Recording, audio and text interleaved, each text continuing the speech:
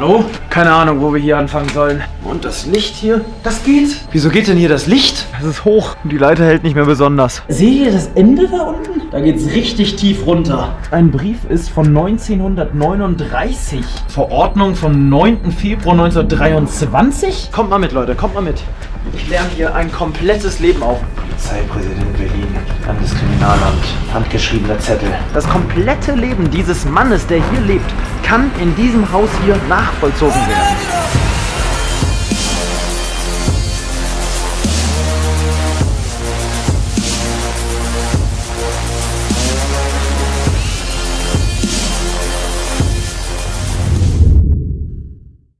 Moin Leute und willkommen zu einem neuen Video auf meinem Kanal. Mein Name ist PJ Adventure und diesmal geht's knackig, zackig los. Wir haben nicht so viel Zeit, wir befinden uns immer noch auf Lost Place Tour zusammen mit dem Tim von Tim und Struppi. Und hinter uns befindet sich eine Location, die seinesgleichen sucht. Und zwar ein Haus mitten auf dem Land. Da vorne sieht man's. Ich glaube, das könnte ziemlich interessant werden. Das wird ziemlich spannend. Ich bin mir ganz, ganz sicher. Deswegen gehen wir da jetzt einfach mal hin, umrunden das Ganze mal, gucken mal, wo wir reinkommen und dann wird mal ein bisschen erkundet. Ich hab Bock, ich hoffe ihr auch. Äh. Let's go. Also so ein paar Sachen sind auffällig an diesem Haus hier hinter mir. Und zwar vor allem diese, naja, relativ neue Skifahren-Front hier Richtung Feld hin. Das gibt es hier im Landstrich relativ häufig, diese Skifahren-Tafeln. Unten ranzig, oben neu. Ähm, mein Stand ist 2005, soll das Ganze verlassen worden sein. Es könnte aber, und ich finde, so sieht es gerade von außen her aus, auch renoviert worden sein. Das wäre natürlich sehr, sehr schade. Wir gucken mal rein, vielleicht kommen wir auch überhaupt nicht rein. Ah, ich bin gespannt. Es ist ein richtig kalter, nebliger, diesiger Tag irgendwie heute. Ja, guckt euch das nochmal an, Leute. Das sieht da oben einfach echt übelst neu aus. Keine Ahnung, obwohl da ist was abgebrochen. Gehen wir erstmal hier übers Feld. So zugewachsen wie das hier ist, ist sowieso fraglich, ob wir auf das Grundstück raufkommen. Und viel sehen tut man heute eh nicht. Oh, ich häng fest. Ah, jetzt. Alter. Ah. ah. Okay, wir sind auf dem Grundstück. Und was gleich mal auffällt, ist folgendes, Leute. Es gab hier wohl mal einen richtigen Garten, wenn mich nicht alles täuscht. Hier liegt noch eine Schubkarre. Hier ist so ein kleiner Komposthaufen womöglich mal gewesen. Und hier ist auch noch so ein passender ja, Rasenmäheraufsatz äh, hinten für das Gras, der Grasbehälter. Ja, und da ist direkt die Straße. Weswegen wir so ein bisschen aufpassen müssen. Gehen wir hier mal zwischen den Ästen hindurch. Zack. Und befinden uns jetzt am sozusagen Innenhof dieses Grundstücks. Was ist das hier? Hier ist einfach so ein Strick, der von oben nach unten geht und eine Leiter, die noch dort oben führt. Boah, die ist aber kipprig. Naja, ganz, ganz klar ist auf jeden Fall, dass wir hier natürlich auch hoch müssen und am liebsten wie Tarzan uns wieder herunterschwingen. Die Frage ist, ob hier oben irgendwas ist. Bis auf ein dunkler Raum. Oh, ist hier nicht mehr viel. Hilfe, es ist hoch und die Leiter hält nicht mehr besonders. Aber wozu ist diese Seilwinde hier gewesen? Da ist tatsächlich richtig...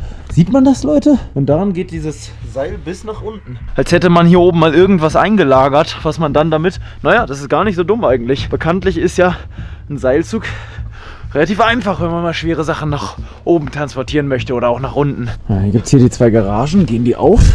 Ja, das sieht gut aus. Da drin befindet sich ein Rollstuhl. Ob es hier mal irgendwie ja, ein körperlich eingeschränktes Kind gab. Sieht ja sehr stark nach einem Kinderrollstuhl aus. Und daneben so eine ganz, ganz kleine Krücke. Ansonsten ganz viel Rümpel. Upsala, da bin ich gestolpert. Gab es noch eine Tür hier in einen Keller? Hallo? Boah, ich bin so stark nach Heizöl, Leute. Alter! Guck da mal rein, bitte. Seht ihr das Ende da unten? Da geht's richtig tief runter. Und wenn da mal ein Kind runterfällt oder irgendwie, ja doch, spielende Kinder oder nur Tiere, kommen die dann nie wieder raus. Deswegen finde ich es, glaube ich, gar keine schlechte Sache, wenn wir zumindest mal so grob hier so eine Platte drauflegen. Ja, das sollte erstmal halten, dass da niemand mehr spontan reinfällt. Einmal rückwärts gegangen, irgendwie mit dem Ball gespielt oder so, man kennt ja Kinder, dann kann schon zu spät sein. Was gibt's hier noch? Irgendwie noch so eine alte Rumpelkammer. Ganz vielen alten Briefen. Obwohl es schon krass ist, dass das hier zum Beispiel anscheinend ein Brief ist von 1939. Ja Leute, ihr lest nicht falsch. 1939. Wenn das jemand lesen kann, schreibt mal gerne einen übersetzten Brief in die Kommentare. Ich kann das nicht mehr so richtig entziffern, aber 1939, das ist krass. Verordnung vom 9. Februar 1923? Was ist denn jetzt los? Alter, wenn das jetzt die ältesten Unterlagen, die ich je auf einem gefunden habe, oder was? Direktorium der Reichsversicherungsanstalt für Angestellte, 13.3. oder was das sein soll, oder 1.3.54. Eine alte Postkarte Hier oben hat es dann zum Beispiel nochmal irgendwie so ein Prothesenstück oder sowas, was das sein soll. Da kommen wir dann wieder auf die Sache mit dem Rollstuhl, dass hier doch mal ein Kind mit Rollstuhl vielleicht gewohnt hat. Man geht einfach nur mal kurz in irgendeinen Keller rein und findet auf einmal einen Haufen Unterlagen von 1935. Hätte ich auf jeden Fall überhaupt nicht mit gerechnet, ehrlich gesagt. Mal gucken, was wir oben noch im Gebäude finden. Dann können wir jetzt ins Gebäude rein und auch da filmen. Ich bin sehr gespannt auf die Unterlagen, die wir da noch entdecken. Ach, da ist doch Heiko. Ja, das denke ich mir auch immer. Wir gehen da jetzt rein. Gut, während Heiko jetzt da Vorne weiterfilmt, gehen wir mal gucken, ob wir hier oh, durchs Gebüsch noch jemanden vortreffen. Hier ist auf jeden Fall eine Klingel. Und tatsächlich, sie funktioniert. Hallo, guten Tag. Darf ich reinkommen? Mal rein. Warte, ich tritt nochmal die Schuhe ab. Ah, boah, war eine lange Fahrt. So, Leute, und da befinden wir uns drin. Und was als erstes auffällt im Eingangsbereich, Ist dieser riesige Blumenstrauß, der hier noch steht. Wozu auch immer. Hier sind auch noch Schlüssel irgendwie hinter der Tür. Und direkt alte Fotos. Hm, keine Ahnung, irgendwelche Demonstrationsbilder aus ganz alten Zeiten. Vieles hier ist auf jeden Fall schon ordentlich kaputt. Soweit kann man auf jeden Fall schon mal sagen. Hier ist eine Garderobe. keine Ahnung, wo wir hier anfangen sollen. Gehen wir einfach vielleicht mal in die Küche als allererstes und gucken uns hier um. Oh, es ist schon relativ dunkel. Es wird auch einfach immer dunkler draußen. Und es ist ramschig sondergleichen her. Gott, wo sollen wir denn hier anfangen? Witzigerweise ist hier auch irgendwie eine Kommode auf dem Kopf. Irgendwelche Bescheinigungen von 2008, Tag der Messung. Ah, okay, das sind irgendwelche Unterlagen von einem Klempner bzw. Elektroniker, der hier aufgetaucht ist. Und vor allem wichtige Unterlagen, apropos, Hat man hier auf dem Tisch zuhauf. Im Übrigen ist diese Küche irgendwie vom Feeling total kalt.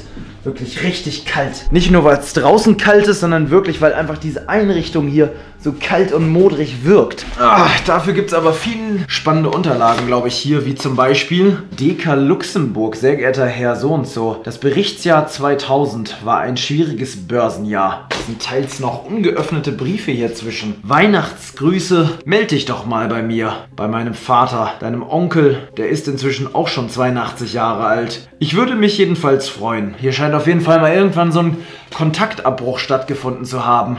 Es geht hier immer so weiter. Irgendwelche Unterlagen, die meisten von irgendwelchen Behörden. Und das alles liegt jetzt auch schon wieder Ewigkeiten hier. Und es riecht tatsächlich immer noch ein bisschen nach Küche hier, aber auch so ein bisschen ranzig. Es ist so eine, naja, eine gute Kombi, kann man dazu sagen. Schauen wir mal weiter.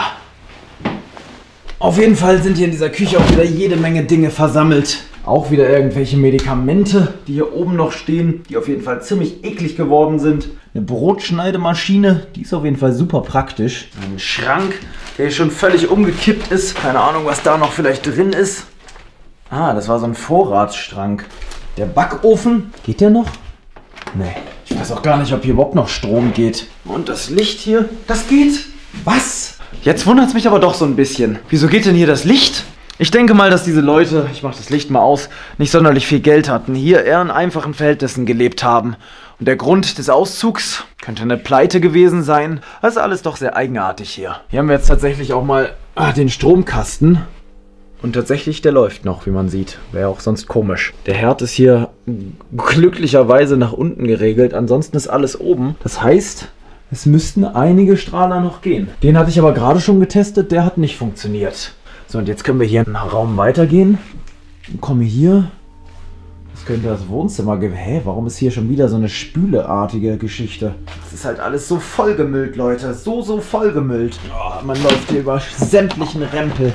Ah, wenn man jetzt hier weitergeht, kommt man hier hin. Könnte theoretisch ein Schlaf- oder Kinderzimmer gewesen sein. Aufgrund dieser Blumen dort hinten an der Tür würde ich sogar fast sagen, eher ein Kinderzimmer. Hier sind auf jeden Fall auch schon wieder Sachen ohne Ende. Hier noch so ein relativ, sogar zusammengelegter Pullover. Allerdings hat es hier dann auch noch so einen alten Teddybären, der so ein bisschen aussieht, als wäre er von der Firma Steif. Ja, das ist schon leicht, leicht unheimlich und erinnert mich so ein bisschen an das Haus der Hundefrau. Da war es ähnlich von der Unordentlichkeit und auf einmal dann dieser auftauchende Raum, der komplett eingerichtet war. Da sind hier auch immer wieder so persönliche Details, wie diese Brille hier zum Beispiel. Oder das Hemd, was noch komplett eingepackt ist. Naja, irgendjemand hat hier schon Licht angemacht in dem Raum daneben. Das scheint das Wohnzimmer gewesen zu sein. Die Lampe hängt aber tief. Ich hoffe, die hing damals nicht auch schon so tief.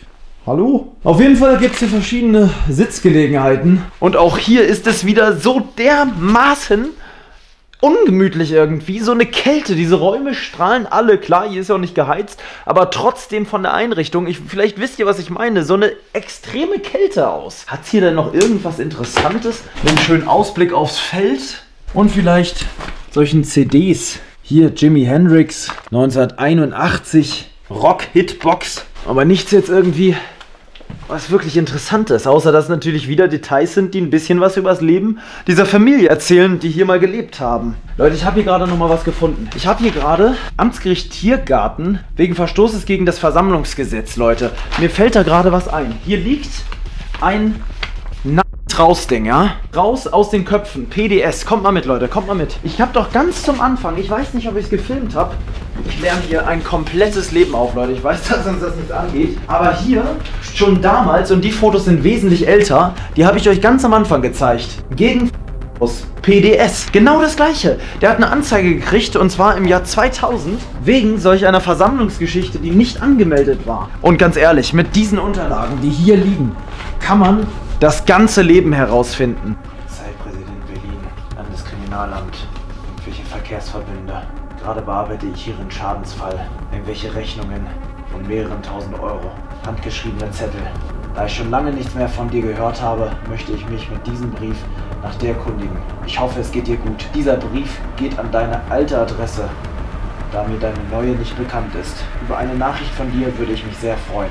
Wir haben hier gerade noch mal kurz geguckt und darüber werde ich euch jetzt nichts weiter erzählen, aber hier liegen auch Todesurkunden drin, ja? Hier liegen Überweisungsscheine für ein Bestattungsunternehmen, hier ist jemand ver ich möchte das aber im Video nicht weiter teilen, weil ich es irgendwie respektlos finde, so, so tief darin zu graben. Zumindest das im Video hier kundzutun. Theoretisch würde ich jetzt am liebsten alles einsammeln und irgendwo hinbringen, wo es keiner mehr durchlesen kann. Hier sind alle Kontoauszüge und wie gesagt, selbst so persönliche Sachen wie irgendwelche Gerichtstermine und so weiter lassen sich hier in diesem Haus nachlesen. Das komplette Leben dieses Mannes, der hier lebt, kann in diesem Haus hier nachvollzogen werden. Und das ist wirklich, wirklich krass. Schreibt gerne mal eure Meinung dazu in die Kommentare. Ich auf jeden Fall finde es mega heftig. Hier mit dem Tim von Tim und Struppi das Ganze hier zu untersuchen, beziehungsweise mal kurz so ein bisschen durchzuspielen. Ich hoffe, euch gefällt die Location, auch wenn es hier ziemlich verwüstet ist schon. Aber es ist echt, echt spannend, wenn man hier mal so ein bisschen, ja, sich hinsetzt und einfach mal ein bisschen wühlt. Obwohl, wühlen wurde hier auch schon genug betrieben. Das ist echt krass. Hier haben schon andere Leute viel, viel Arbeit geleistet, was dann natürlich auch absolut respektlos ist.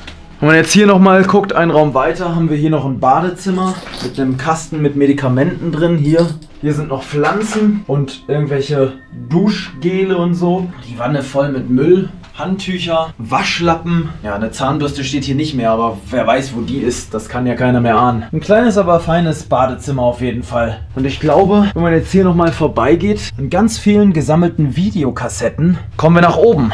Oh, dieser eklige Vorhang hier. Tatsächlich sehr, sehr interessant. Hier oben sind noch alte Kinderfotos. Fotos aus einem Krankenhaus, aus irgendeinem Heim. Nochmal solche Fotos auf einem Schiff. Soldaten in einer zerbombten Stadt hinter einem Grab. Alle richten die Waffe nach oben. Komische Bilder, die passen alle nicht so richtig zusammen, aber es sind eben Bilder, die irgendwo mal rausgefallen sein werden. Sehr, sehr interessant. Naja, lasst uns hörgehen, Leute. Dann kommen einem hier direkt noch mehr Bilder entgegen. Ein Kind, vielleicht der Mann, der hier dann später gelebt hat. Ich habe gehupst, riechst du's? Ja. Es riecht Du warst ein köstlich. bisschen unscharf. Bitte? Du warst gerade ein bisschen unscharf. Weil ich gehupst habe. Genau, 6%.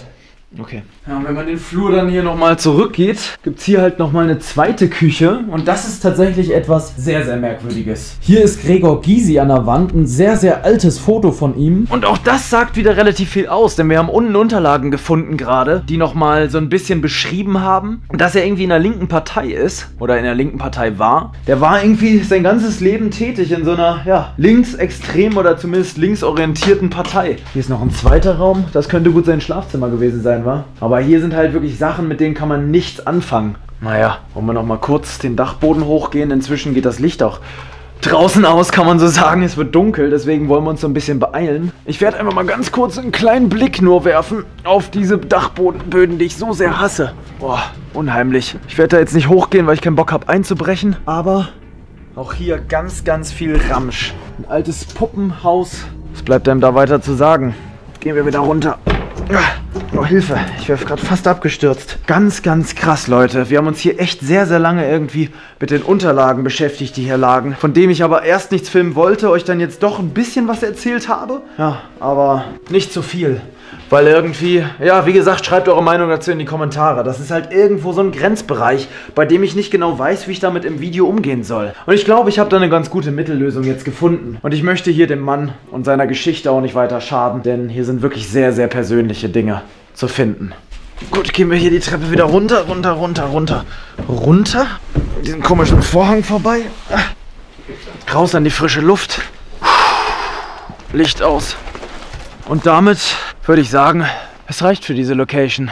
Was eine Erkundung, Leute. Ihr habt jetzt weniger mitgekriegt als wir. Wir waren da doch länger drin als gedacht und irgendwann ging uns hier echt das Licht draußen aus. Ich hoffe, euch hat das Video trotzdem gefallen. So ein kleines, aber feines Video mit einer feinen, etwas ranzigen Location. Bleibt Frauen gesund, lebt euer Abenteuer und bis zum nächsten Video. Und schreibt eure Theorie vielleicht mal zu dem Ganzen in die Kommentare. Euer PJ Adventure. Ciao. Kennst du deine erste Erinnerung? So um den Dreh laufen lernen, du hast die Beine in der Hand, obwohl du kaum laufen kannst. Du bist raus in die Welt, du bist drauf und dran. Tausch das Kinderbuch gegen Winterschuhe.